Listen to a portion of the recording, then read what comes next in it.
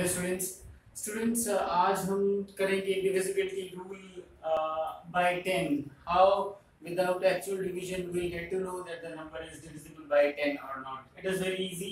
Last videos में हमने 2 और 3 का लिया था तो दिस इज़ वो 10 तो इसमें क्या है? द लास्ट डिजिट देखिए.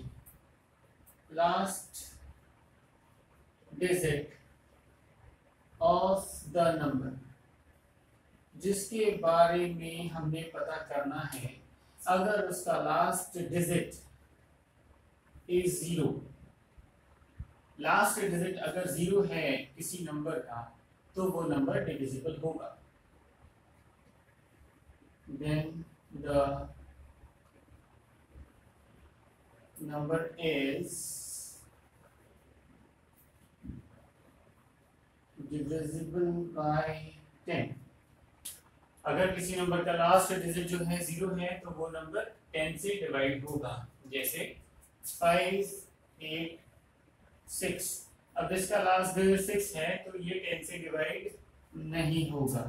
सिक्स एट ज़ीरो अब इसका लास्ट डिजिट ज़ीरो है तो ये डिवाइड होगा। It is very easy I hope you got it all thank you